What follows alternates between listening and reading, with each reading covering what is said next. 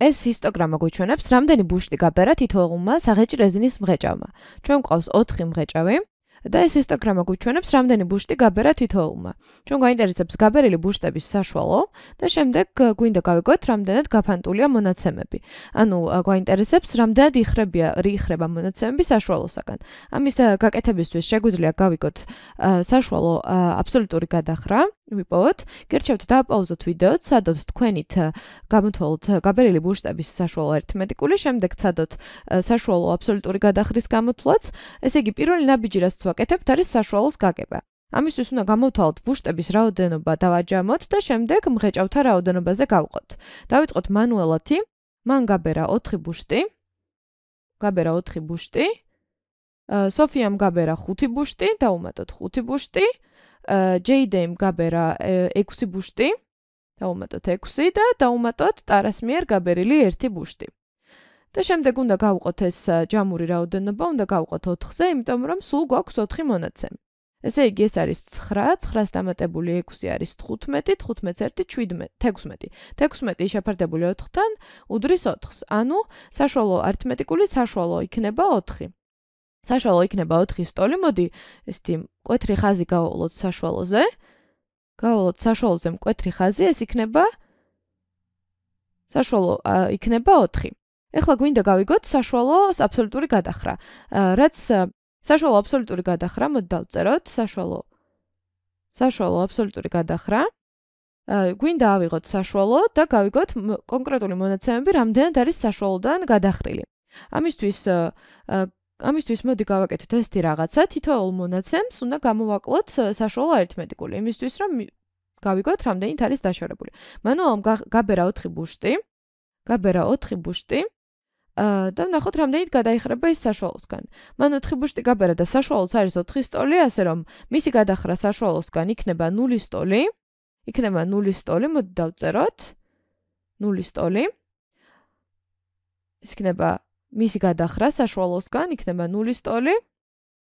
აქ ქვემოთაც მივუწერეთ ბარემ საშუალო აბსოლუტური გადახრა.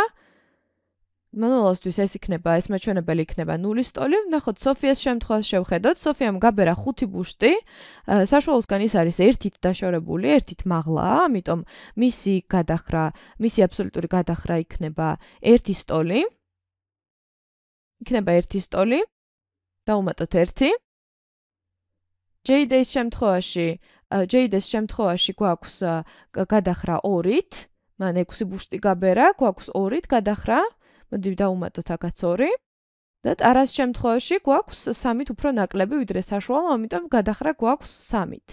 გადახრა გვაქვს 3-ით. გადახრა გვაქვს 3-ით, ამიტომ დავუმატოთ აქაც 3. გადაიხარა 3-ით. ეხლა ჩვენ გვინდა ვიპოვოთ ამ გადახრების საშუალო. ამ გადახრების საშუალო მანუელას მაჩვენებელი არის 0, სოფიას მაჩვენებელი არის 1, 2 არის ჯეიდას მაჩვენებელი და 3 არის ტარას მაჩვენებელი. რადგან 4 მონაცემი გვაქვს, უნდა გავყოთ 4-ზე. დაჯამებით მივიღებთ 3, 6, 6 მეოთხედი, დაჯამებით მივიღეთ 6 მეოთხედი, რაც იგივეა რაც 1.5. იგივეა რაც 3 3 მეორედი, რაც უდრის 1.5-ს. სწორედ ეს მონაცემი გვიჩვენებს, რამდენად გადაიხრებიან ყველა მონაცემი რამდენად გადაიხრება საშუალოსგან, ანუ 4-ისგან. ზოგი იფიქრებს, რომ ნუ ამ საშუალო აბსოლუტური გადახრის გამოსათვლელად უნდა არსებობდეს გარდა, ვთქვათ, ჰისტოგრამის მიხედვით გამოთვლისა, უნდა არსებობდეს ფორმულაც. ყველაფერი რაც ჩვენ გავაკეთეთ, არის ის, რომ ავიღეთ აბსოლუტური მნიშვნელობები, ავიღეთ ყველა მონაცემი და ყველა მონაცემს გავიაზრეთ, როგორ რამდენად განსხვავდება, რამდენად გადაიხრება ყველა მონაცემი საშუალოსგან.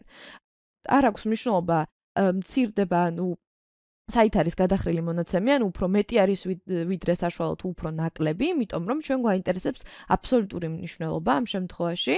მოდი ფორმულითაც ვცადოთ გაკეთება. გამოვთვალოთ საშუალო აბსოლუტური გადახრა. ამისთვის უნდა ავიღოთ თითოეული მონაცემი, ავიღოთ მანუალას მონაცემი, ანუ 4 და გამოვაკლოთ მას საშუალო არითმეტიკული ეს 4. და ჩავსვათ მოდულში, რა თქმა უნდა. აა შემდეგ ამას ეს იქნება 0 სტოლი, რა თქმა უნდა. ამას დაუმატოთ სოფიას მონაცემი გვაქვს 5, 5-ს გამოვაკლებთ 4-ს და აქ მოდულში გამოგვივა 1.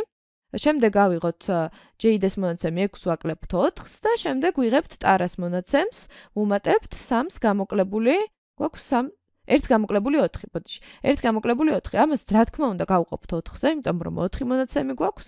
ეხლა ვნახოთ აქ ეს ყველა 4-იანი, რომელსაც ვაკლებთ, არის საშუალო არითმეტიკული, ყველა არის საშუალო არითმეტიკული და ვიღებთ საშუალოსგან დაშორებას. პირველ შემთხვევაში ეს არის პირველი არის იგივე რაც 0, იმიტომ რომ ეს არის მანუელას მაჩვენებელი, ზემოთაც გვიწერია რომ ეს არის 0. ზევითაც გვიწერია რომ ეს არის 0. შემდეგ ვნახოთ 5-ს გამოკლებული 4-ის მოდული, ეს იქნება -1-ის მოდული, -1-ის აბსოლუტური მნიშვნელობა და ეს იქნება უბრალოდ ერთიანი, როგორც ზემოთ გვაქვს დაწერილი, სოფიას მონაცემი, ჯეიდეს მონაცემი. JD-ს მონაცემი იქნება 6-ს გამოკლებული 4 მოდულში, რაც არის 2 2 აქაც ზემოთაც ესე გვიწერია, შეგიძლიათ ცხრილზეც გადაამოწმოთ და საბოლოოდ ტარას მაჩვენებელი არის 1-ს გამოკლებული 4, ანუ -3-ის მოდული იქნება 3. მინუს 3-ის მოდული არის 3, აქ ზემოთაც ესე გვიწერია. 3-ით არის დაშორებული ის საშუალო არითმეტიკულისგან. შემდეგ ყოფთ 4-ზე, იმისთვის რომ რადგან 4 მონაცემი გვაქვს და ამ შემთხვევაშიც მივიღებთ საშუალო აბსოლუტურ გადახრას, მივიღებთ 1.5-ს.